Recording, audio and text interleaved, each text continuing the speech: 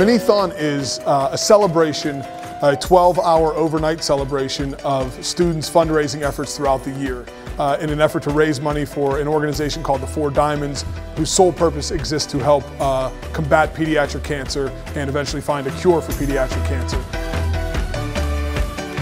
So our business management class um, does everything from planning to um, organizing the event. It's just so fulfilling that we could do something that affects real people and it's just something so meaningful. It was one of my best high school experiences and life experiences in general because no other class gives you the amount of fulfillment that this class did. I think when we came in here we kind of expected um, that we're going to have to work work really hard, but when you see that number at the end of the night, all your hard work kind of pays off and you really um, feel a sense of accomplishment within yourself that you've done something good.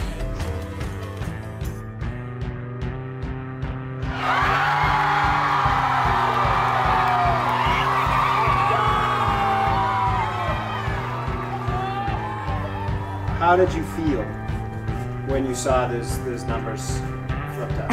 At the end of the night, I just started crying, and all the teachers started hugging me, and I cried the probably from when it ended until the next day. Um, I cried, honestly. It was, it was such a, a relief and just a satisfaction, a sense of satisfaction that you had knowing that you really, um, your classmates and you worked really hard for this and kind of seeing that being able to help other people is such a good thing and a good feeling knowing that we raised that much money for, for people who obviously go through something really difficult and that we were able to help them.